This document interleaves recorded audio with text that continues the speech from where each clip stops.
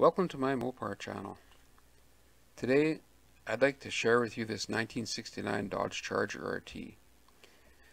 The Charger was in the second year of its design cycle with a new split grille and redesigned taillights. And as in 67 and 68, if you wanted the top performance model, you got the RT.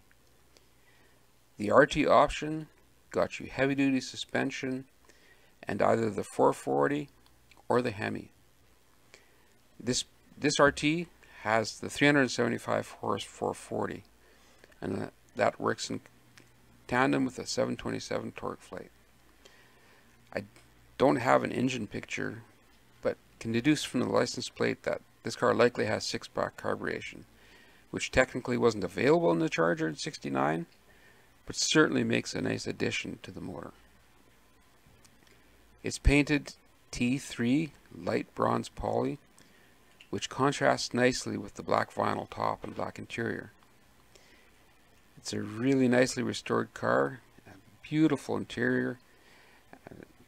The parts all look like they just came out of the factory.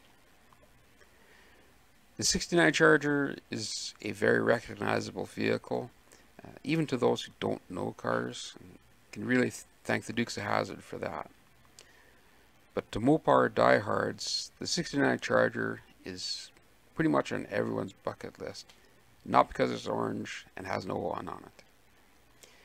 I hope you enjoyed looking at this Charger. Please click like and subscribe. And please come back for more great Mopar features.